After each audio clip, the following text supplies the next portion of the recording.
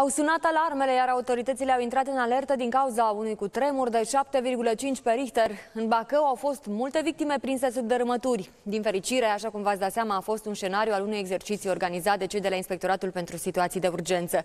Pompierii au intervenit imediat pentru salvarea victimelor, nu singuri, ci împreună cu medici ai ambulanței, polițiști și jandarmi.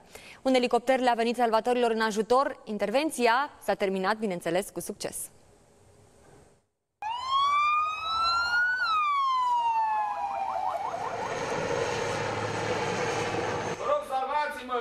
Un bărbat este captiv în clădirea dărâmată. Ieșirile sunt blocate și așteaptă salvarea de la pompieri. Creăm cali de acces, da?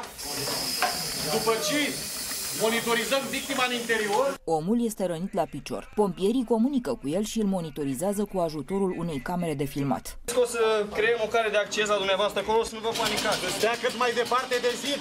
O altă victimă este scoasă de la etaj pe targă cu ajutorul unei scări. Imediat ce sunt scoși din clădirea dărâmată, răniții sunt preluați de ambulanță. Așteptați. Ridicat un pic de targă, dezasigurată. În scenariul pompierilor, unele persoane rănite nu au putut să se deplaseze. Au fost găsite cu ajutorul unui câine de urmă. Victime! Victime!